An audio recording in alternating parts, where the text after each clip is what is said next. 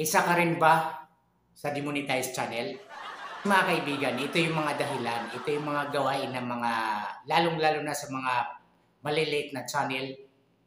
Ito yung ah, hindi nila dapat gawin at iwasan.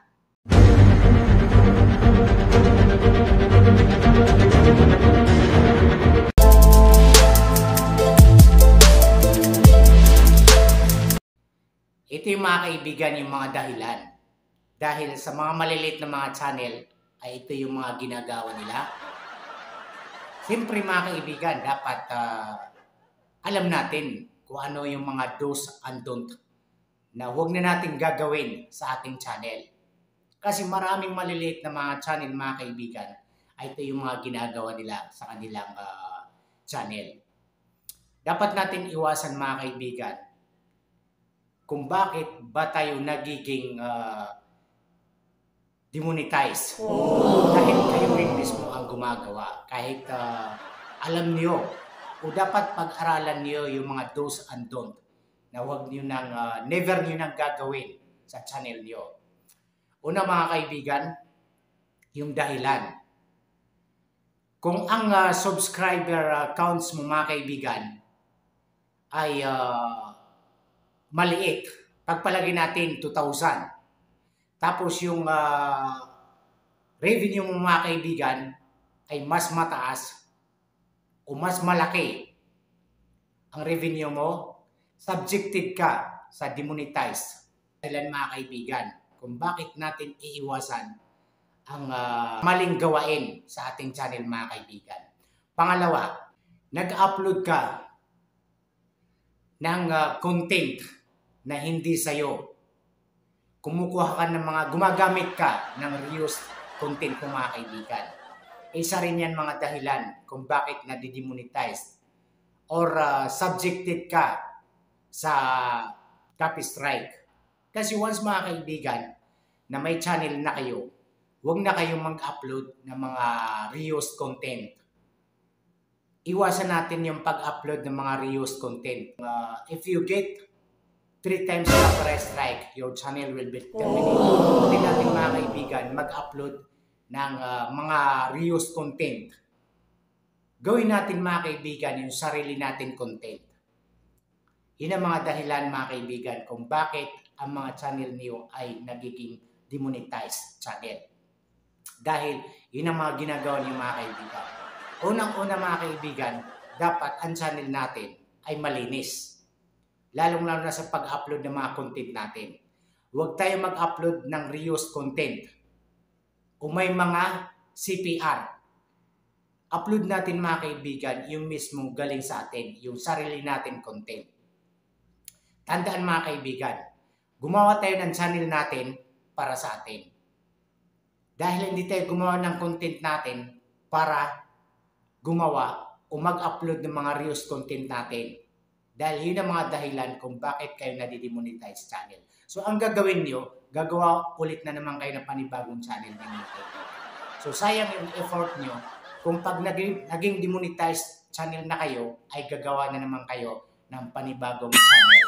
Ang hirap makuha ang WH, yung 4,000 WH mga kaibigan.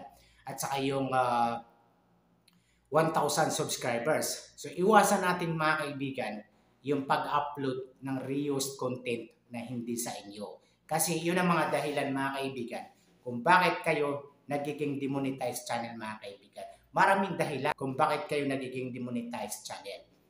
Kasi mga kaibigan, ang ginagawa natin mga kaibigan, yung revenue natin ay mas malaki doon sa required ni YT. Unang-una mga kaibigan, kung maliit ang uh, subscriber counts mo at malaki yung uh, revenue mo, isa ka rin o isa kang subjected sa demonetized mga kaibigan. Kasi iwasan natin mga kaibigan, yung lalong-lalo na mga kaibigan, yung uh, C2C, is 2C, yung tinatawag ng mga Pilipino na click to click. Di ba? Yun ang uh, mga dahilan mga kaibigan ng pagiging demonetized channel nyo. Yung uh, C2C nyo. So iwasan nyo mga kaibigan gumawa ng mga channel nyo na gagawin nyo lang pang C2C. para kumita ng malaki. So sayang mga kaibigan, kasi once na nadetect kayo ng YT, eh subjected kayo mga kaibigan sa pagka-demonetize ng inyong channel. So iwasan niyo mga kaibigan, yung mga gumagawa, yung naglalaro o sumasali sa mga C2C mga kaibigan. Kasi yan po ay pinagbabawal, mahigpit ng pinagbabawal ni YT or agents mga kaibigan. O sayang din mga kaibigan, yung uh, revenue nyo, yung channel nyo, once na kayo ay naging demonetized channel na kayo. Sayang yung effort nyo mga kaibigan. Sumasali kayo sa mga click-to-click, C2C, ika nga. So mataas yung revenue niyo mga kaibigan, hindi angkop dun sa subscribe counts, counts niyo ay talagang uh, nakakamangha dahil mataas yung uh, kumikita nga yung channel niyo dahil pero hindi siya legal. Illegal yung mga kaibigan yung kinikita ng channel niyo. Kaya ang ginagawa natin, sumasali tayo sa mga C2C, yung click to click na sinasabi nila. 'Di ba? Huwag natin na gawin mga kaibigan yung uh, channel natin ay mas uh, delikado. Gawin natin sa channel natin mga kaibigan, mag-upload tayo na sarili ng content Huwag tayo mag-upload ng mga reused content mga kaibigan. At ano bang dahilan mga kaibigan? Kung isa kang demonetized channel mga kaibigan, ito tandaan yung mga kaibigan. Kung isa kang demonetized channel, kung sa palagay mo naman ay karapat dapat ka naman pagbigyan, pwede ka pa rin o pwede pa rin maibalik yung uh, channel mo o mawala yung pagka-demonetize mo mga kaibigan. So ang gagawin niyo mga kaibigan, pwede kayong mag-appeal. Pwede kayong makiusap. O pwede niyo makausap ang creator host mga kaibigan kung ano bang dahilan ng pagka-demonetize nyo o ano ba yung da- mga dapat mong gawin. Kasi mga kaibigan, kung isa ka demonetize mga kaibigan, pwede ka naman mag-appeal sa creator host mga kaibigan. Pero marami sa atin mga kaibigan, pag uh, na-demonetize na mga kaibigan, hindi na sila nag-appeal sa creator host mga kaibigan. Tandaan niyo mga kaibigan, pwede pa rin kayong mag-appeal sa creator host ng uh, YouTube. Ang gagawin niyo lang mga kaibigan kung gusto niyo mag-appeal, kung isa kang demonetize channel, pupunta lang kayo YouTube studio niyo mga kaibigan. Gamit ang laptop or gamit ang computer niyo mga kaibigan. Gawin niyo mga kaibigan ay pupunta, ay pupunta kayo dun sa channel niyo, dun sa profile picture niyo sa right side, left, right side, ay i-click niyo mga kaibigan, note yun na i-click nyo mga kaibigan at pwede nyo rin makausap. Creator host, kung isa kang demonetize ang channel mga kaibigan, pwede ka rin mag-apila.